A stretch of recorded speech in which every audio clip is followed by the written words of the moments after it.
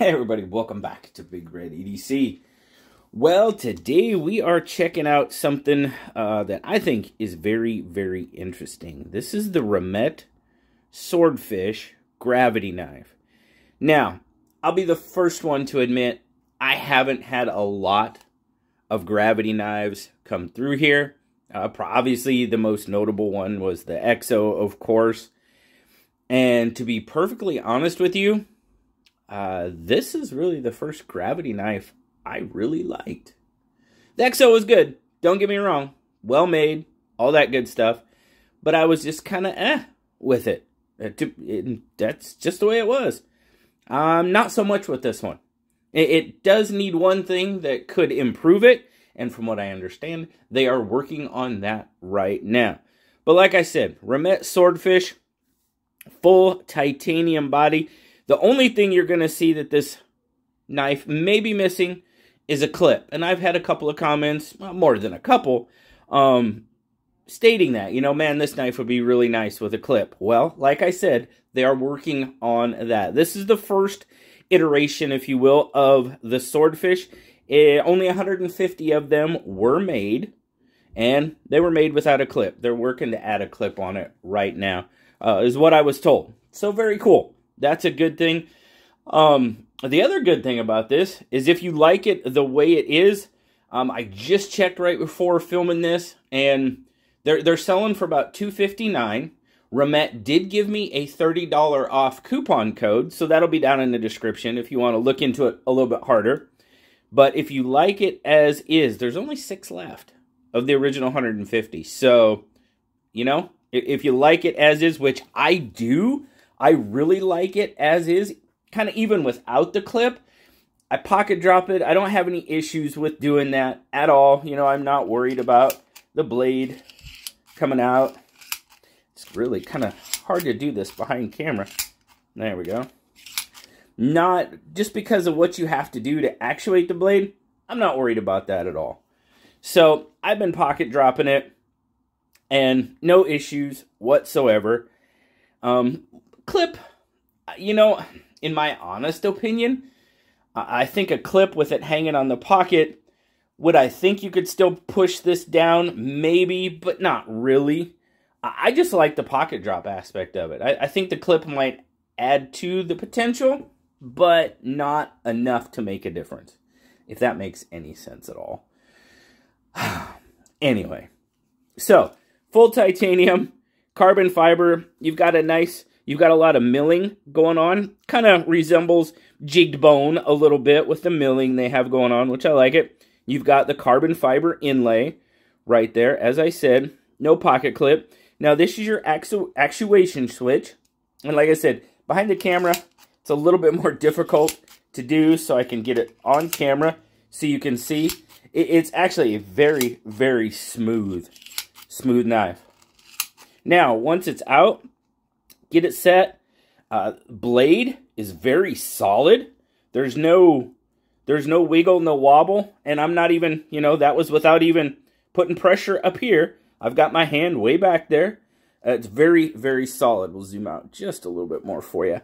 Now, if you do actually grip it where you're intended to, obviously you can see you've got sort of that, I don't know if I'd really call it jimping, it's more just milling. Um, it locks it into place. Got a nice M390 blade, that sort of tanto-ish blade. It's kind of a kind of a tanto drop, if you will. I mean, you definitely got a defined, defined edge there that you'd see in a Tanto, but then you've also kind of got this nice drop to reverse Tanto up here, which I'm kind of digging that aspect of it. Got a hole in the blade, that's really not going to do you much in this gravity knife. Because, well, there's no real... I hit the table. There we go. But super, super smooth. If you see my, if you see my short, that I did on it.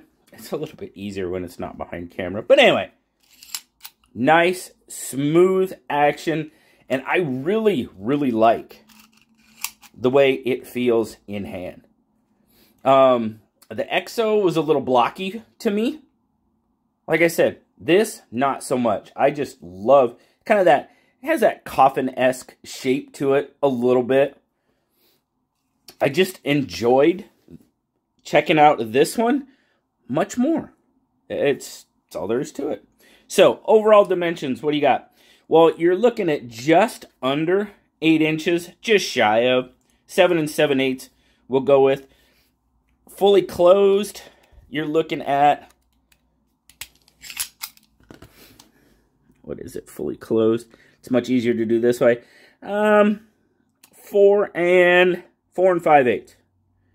Four and five eight fully closed. And then your blade length you're looking at right about three and a quarter ish right in there. I'll give you some size comparisons here real quick. PM2 a little bit larger. And then your bug out is going to be just a little bit shorter, uh, close to a half inch in the handle actually. And we'll kind of try to get it lined up handle to handle there. Blades are pretty close. You do have a little bit more uh, right there. And then, like I said, the handle, it's close to a half inch longer than the bug out. All right, so now, see if I do it off camera, super smooth. Super, super smooth. Grams, 115 and 4.1 ounces. Now, like I said, pocket carry I, doesn't have a clip, so I'm not going to break the pocket out. Well, I will for you just because. I mean, that's what I've been doing. I've just been pocket dropping it. And it kind of ends up laying more horizontally or diagonally in the pocket, which not, nothing too major. I don't really carry a whole lot in that front pocket anyway. So, and like I said, I have no, no worries about this happening in my pocket. You know, I think somebody mentioned a lock on it. No. Do I think it needs a lock? No. I really don't. With what you have to do to get that blade to deploy, it's not like a if it's bumped and it's an auto and then blade's going to shoot out of it. No. No, you have to do quite a bit of action to get this knife to come open.